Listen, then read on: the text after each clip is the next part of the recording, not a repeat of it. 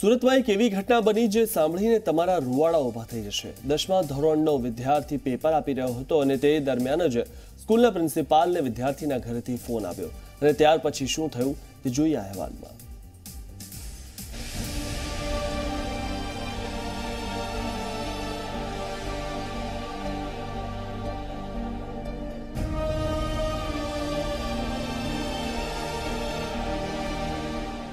TV screen પર જોવા મળી રહેલા આ વિદ્યાર્થીની હિંમતને જેટલી સલામ આપીએ, તેટલી ઓછી છે.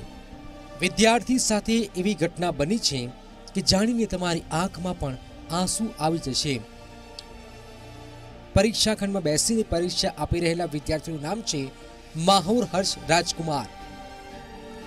માહોર સુરતના રાંદેરમાં આવેલ કૃષ્ણકુંજ સોસાયટીમાં રહેતા પરિવારનો એકનો એક દીકરો છે. પિતા દરજી કામ કરી પરિવારનું ગુજરાન ચલાવતા હતા. પિતાને હૃદય રોગનો હુમલો આવતા નિધન થયું હતું. જ્યારે પુત્રનું ધોરણ દસનું વિજ્ઞાનનું પેપર હોય, તે પરીક્ષા આપવા પહોંચ્યું હતું. ત્યારે સ્કૂલના પ્રિન્સિપાલને ઘટનાની જાણ થતાં તેમની આંખમાં આંસુ આવી ગયા હતા અને બાળકને હિંમત આપીને પરીક્ષા ખંડમાં લઈ ગયા હતા. ભગવાન બચ્ચાને બળ આપે અને અમે પણ એવા પ્રયત્નો કર્યા છે કે એને તમામ બળ મળી રહે. એણે બે બે કઠિન પરીક્ષાઓનો આજે સામનો કરવાનો આવ્યો. એક પરીક્ષા તો આપણે સમજીએ કે જિંદગીની રૂટીન પરીક્ષા છે, પણ જિંદગીની સૌથી કઠિન પરીક્ષા પણ આ દીકરો આજે સહન કરી રહ્યો છે. ત્યારે અમારા તરફથી એને મોરલ સપોર્ટ આપવાનો સંપૂર્ણ પ્રયાસ થયો છે. ત્રણ કલાકના પેપર દરમિયાન વિદ્યાર્થીએ ભારે હિંમત દાખવી પેપર પૂર્ણ કર્યું.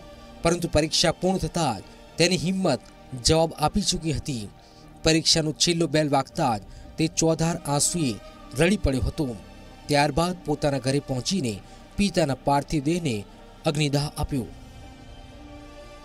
એટલે એના ફાધરને કાલે સવારના નવ વાગે અટેક આવવાથી આ ઘટના બનેલી છે. તેમ છતાં પણ એ બોર્ડની એક્ઝામ આપવા ગયેલો છે કાલ, આજે. એની હિંમતને બહુ દાટ આપવી પડે છે અને એ બહુ સાહસ કરીને એક્ઝામ અપાયેલી. માહોર એક સામાન્ય પરિવારમાંથી આવે છે. તેના પરિવારમાં બે બહેન છે.